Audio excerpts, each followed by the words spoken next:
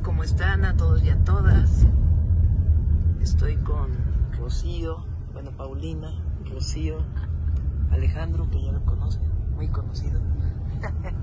Estamos en la Sierra de Songolica. Miren qué bonita, qué hermosa. Vamos para allá a una asamblea. Hoy y mañana vamos a estar en Veracruz.